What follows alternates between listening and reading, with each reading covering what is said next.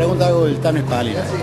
Y recuerdo así, este, tenía un marcador de punta este, Belgrano que tenía un saque lateral impresionante. Jugaban con Independiente en el Chato. Y nos, nos tocó un saque lateral casi sobre la hora y se la tiró al, Tano y embaló, embaló, embaló, embaló y se fue y se fue. Y nadie esperaba un saque semejante, no sé, pero ponerle 30 o 40 metros y, y fue el gol con que ganó Belgrano. Ese, ese gol me quedó imborrable. Lo conozco de barrio cuando jugaba en Huracán. Un 7 de los que ya no vienen más. Una luz, rápido, hábil con la pelota. Un gran jugador que tuvo Belgrano. Y te juro que cuando jugaba Belgrano siempre estaba pendiente de, de poder escuchar algo.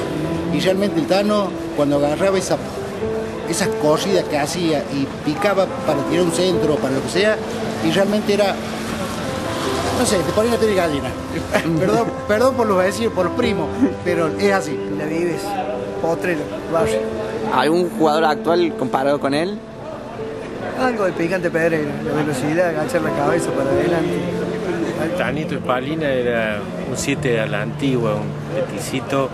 Son jugador de esos que, que vale la pena recordar. Y son grandes, Tano, son grandes. Todo siempre por vos, cuídate tenía, un, tenía algo, tenía una. Por eso ahora todavía sigue vigente, porque los jugadores cuando tienen algo este, siguen vigentes. Son grandes y siempre vas a ser un grande, Tano. Un abrazo. Tanito, te mando un fuerte abrazo y te acuerdas que nos sabemos juntar en el barcito de los piratas ahí en la calle Obispo Trejo. ¿eh? Si no te acuerdas, cuando me vea te, va, te mando un abrazo y siempre sos el mismo jugador de Belgrano, pero todo.